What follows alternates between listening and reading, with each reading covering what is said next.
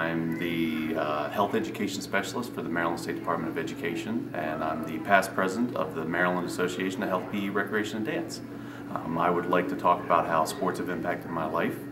Uh, sports have impacted my life. They've led me to where I am today. It's uh, through sports and my participation in sports led me to understand dedication and commitment and setting goals and understanding that incorporating all of those things and help getting help from the people around me and my teammates and coaches and other resources uh, led me able to be as dedicated as I am in my position now uh, and has led me has built the, uh, the passion inside of me to fight for the health and wellness of, of kids in the state of Maryland as well as anywhere that we can make an impact in, uh, through that. Um, thank you.